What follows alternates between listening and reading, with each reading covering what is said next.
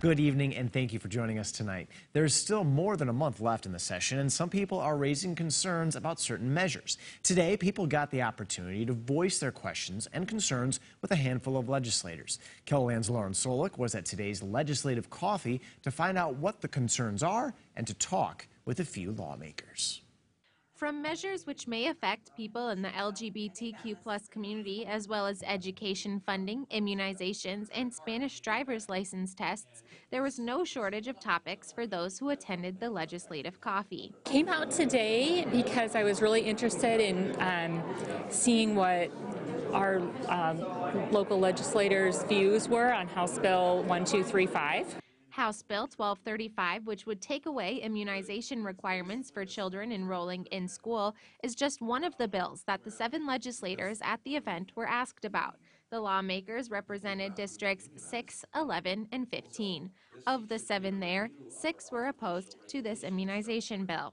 These events are, are really important because it gives uh, legislators an opportunity to hear from their constituents and get kind of the pulse of, uh, of their feelings on, on what's going on.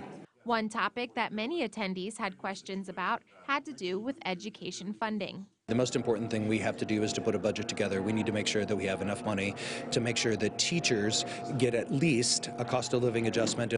When it comes to controversial measures like the vaccine bill or bills that could impact the LGBTQ plus community or the bill dealing with commercial surrogacy, one lawmaker says she's concerned the legislature is spending too much time on those and not enough time on topics like mental health and agriculture. We've been spending way too much time on what I would call bills that don't impact a lot of people and aren't really important to the state of South Dakota. We're talking about things that should be better left to the families, the doctors, their patients. The legislators say if you'd like to send them an email to voice more concerns or ask questions, it's best to include your name and what community you're from so the email is easier to find.